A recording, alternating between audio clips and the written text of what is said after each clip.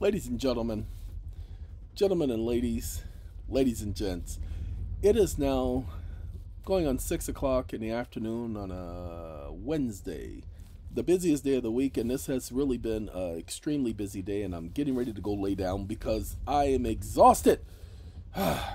now, with that being said, got to talk to y'all for a second, okay? SATCOM, the Securities Acquisition Trust Commission, SITCOM, the Securities Investment Trust Commission, created 2012 was when the names were created. Going into business later, maybe five, six years later, because this has been a plan.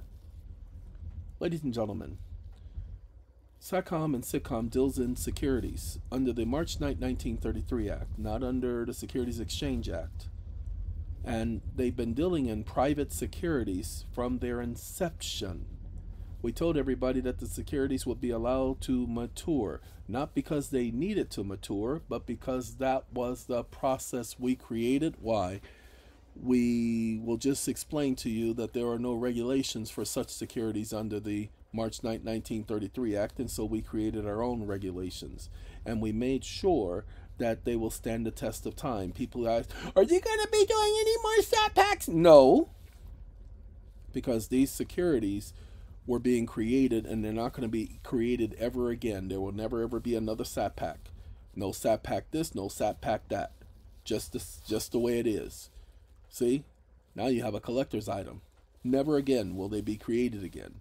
However, ladies and gentlemen, we told you about bonds, but you didn't know about bonds. You don't know how to create a bond. You don't know what language is necessary for a bond.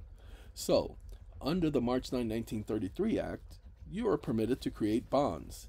Yay! Let's go to the March 9, 1933 Act. Do you guys mind?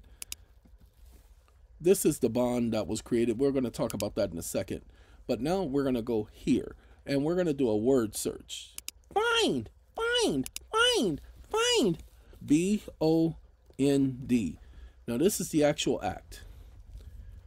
Notes, bonds, debentures. The amount of the notes, bonds, debentures. Okay, so the act did take into consideration, pay attention, see the highlights? This is the very first page, ladies and gentlemen.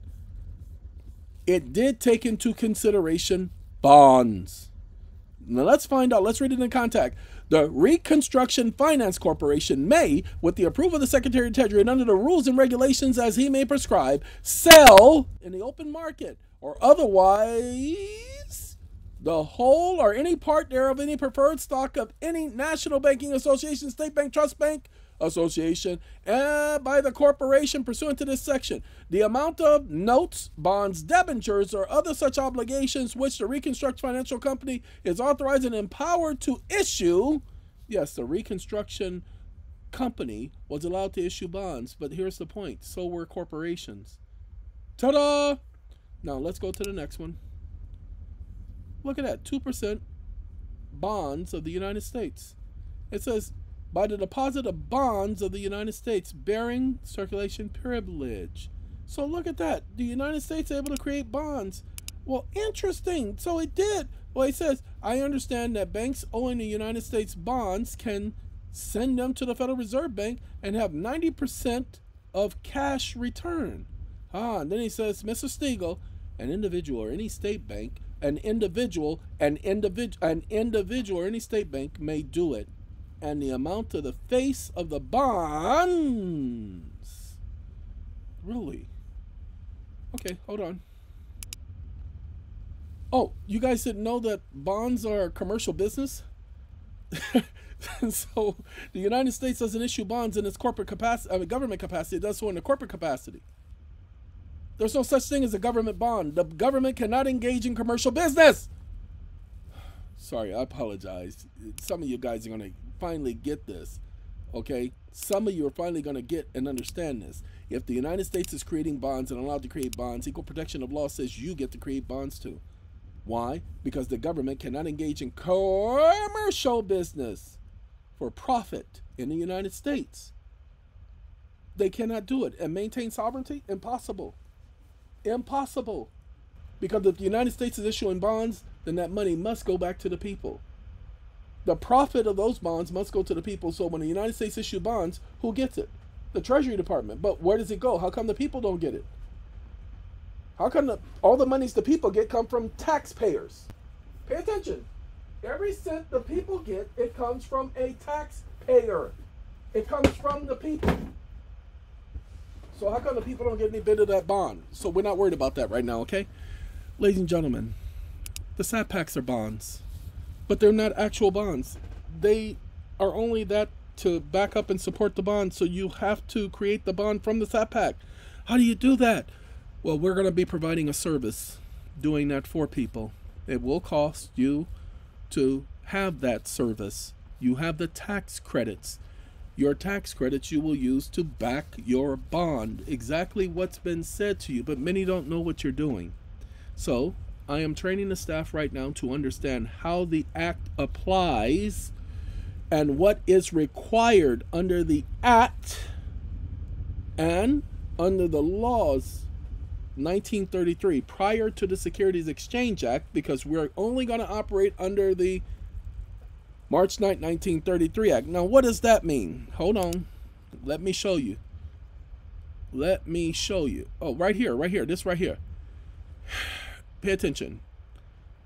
Here's a case which documents the Securities Exchange Act did not repeal the National Emergency Banking Relief Act of March of 1933. United States versus Commodity Exchange Incorporated, 1964. This shows that this act was still existing in 1964. We're not going to stop here. Well, we are going to stop here. I'm not going to show you all the other cases.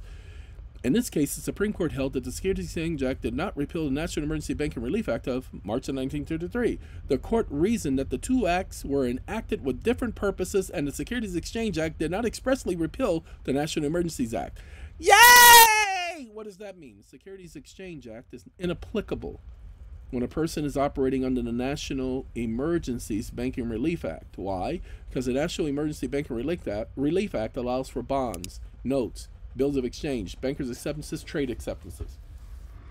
So, we created bonds under the National Emergency Banking Relief Act. Why do you think I've been doing nothing but videos on the National Emergency Banking Relief Act? Go back and listen when I told you that I was going to study that law because I knew that that was the law for which to operate. They hadn't changed it.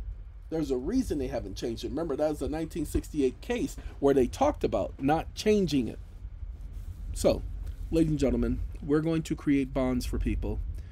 And, well, technically, the bond is already created. We're just going to do the certificate for the bond for you. Now, you'll use that bond and the collateral backing the bond to take care of things you need to take care of. You pay attention. We will not do that research for you. You're going to have to do that research. Why? Why? Why? Why? Why? Because if we were to provide you the information on what to do with that, then that means that you would be getting a service like that for a couple of hundred dollars. And you'd be making a couple of million dollars, a couple of several hundred thousand dollars, ninety thousand, eighty thousand, fifty thousand for paying a couple of hundred dollars. That's not reasonable. You see, my job has always been to provide a service to people, not to do the work for you. Okay? Like I said, I have to train the staff because they have to be able to see the law says they can do. And that's what we talked about tonight. I showed them at least 40 cases where, yes, it can be done and corporations can do it and how it can be done and blah, blah, blah. Other people have tried this, but they did not know many things. They were just writing bonds because they saw somebody else wrote a bond. God, that's why they got in so much trouble. Oh, and ladies and gentlemen, we will give you a sample template OID for you to perfect and file, but you'll be responsible for the filing of the OID on your own. But remember, on a bond, you're the original issuer. And because that bond is backed by collateral and it represent a debt instrument, by all means, is the OID appropriate. when you understand why and how an OID may be utilized. So we will give you more on this as time goes on. All right, getting to those of you with arbitrations. Many people have had arbitrations. Many people who had arbitrations had a little bit of faith in the arbitration process because the courts are supposed to strongly favor arbitration. However, when you did an arbitration and you did it against one of their sister corporations, one of their so called like corporations, they got upset, they got angry, they started dismissing your stuff, making threats to you, charging you. So, ladies and gentlemen, I want you to see something right here. Orange County Sheriff's Department, that's their EIN number. Department of Homeland Security, this is their EIN number. Bureau of Investigations, this is their EIN. Judicial Council of California, EIN number. State of California Government, EIN number. The Office of the Administrative Officer of the Courts, EIN number. All of these corporations have EIN numbers. EIN numbers, well, that stands for Employer Identification Number. No, that stands for Taxpayer Identification Number. Now, watch this. Hold on. We got to confirm this, don't we? All right. Give me a second. Let me scroll all the way down. Wake up. Wake up. Is an EIN number a taxpayer identification number? Question mark. Stop listening. Tick tock, tick tock. Yes. Uh oh. An EIN number, employee identification number, is a taxpayer identification number that is assigned by the Internal Revenue Service to identify a business entity for tax purposes. An EIN number is unique blah, blah, blah, blah, blah. Ladies and gentlemen, watch this because I'm doing this for a young person who's incarcerated right now. And the fact is, he didn't listen to me which is why he's incarcerated because he didn't listen. But watch this. No, we're going to do this at the bottom. Hold, hold on. Not going to put it up at the top. Uh, yeah, let's do this right here. We're going to put it right here, and we're going to put it same font, same spelling, and we're going to space backwards. Okay. And we're going to take this, put that beneath and then we're gonna save. Ladies and gentlemen, it's a taxpayer identification number. the sovereign pays no tax. So why does the sovereign supposedly have an EIN number? I'll tell you why. The reason why the sovereign has an EIN number because he ain't sovereign. Say what? He ain't the sovereign. It's a corporation. Okay. We already look. What you all need to know is you need to know what you know. If you don't know what you know, you don't need to know it. Okay?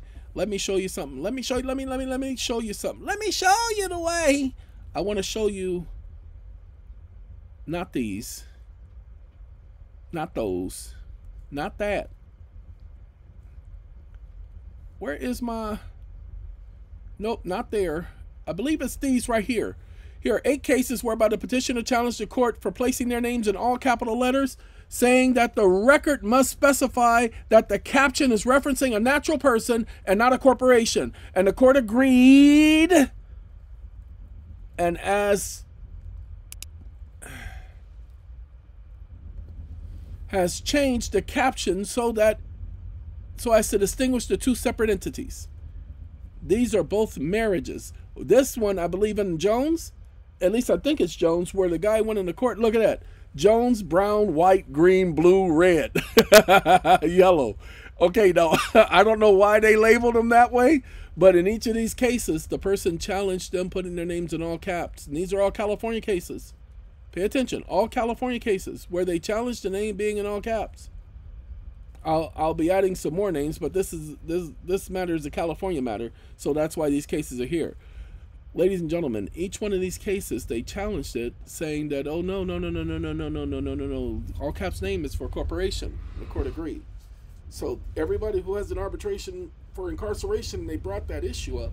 Again, incarceration contracts are bond instruments because the arbitration award is a valid and binding award. You don't need a confirmation of the award to prove the award is valid as long as the award was issued and it was not timely challenged within 90 days, if they waited beyond 90 days, well, technically 100 days after the award was issued, then they got no claim. Now you take that award, forgive them of the debt, ta da, and create your bond. And that's what the organization will do for you. They will take care of the writing off of the debt for the full amount. Well, no, I'm sorry, I got it. I got to say they'll write off the debt for the full amount, but they will not do the bond for the full amount. The bonds will be capped at a certain amount. No, cannot mess up this process. You cannot overdo this process. They're going to create one bond. If you want to take and create your own bond after they create the one bond, knock yourself out. But their bond will be limited. And here's the point their bond will be limited and it will be for the entire award. If you want to separate and create it and uh, do the adjustment for the different parties, that will be on you, not on us. But we're going to be limited in the amount that we do the bonds for. That's for the incarceration contract, that's for the child support contract, that will be for the arbitration awards, and that will be for all of the SAT packs, including the Q packs. Please understand, we know that you don't know how to do this and we know that you're going to make missteps. So I'm training the staff so that they can understand how to do this. Look, everybody else didn't have all of the information. They didn't have all of the numbers that are necessary for doing an OID.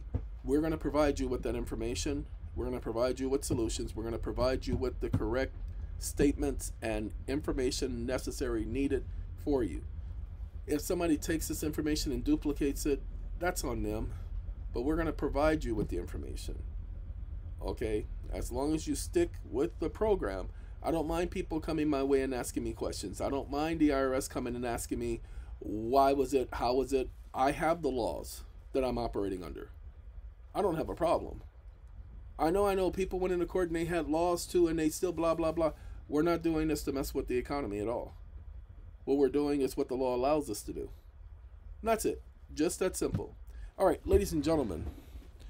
Uh, what we're to do is we're to let you guys get back to your day. I just wanted to let you know about up and, in, up and coming programs being offered by the organization.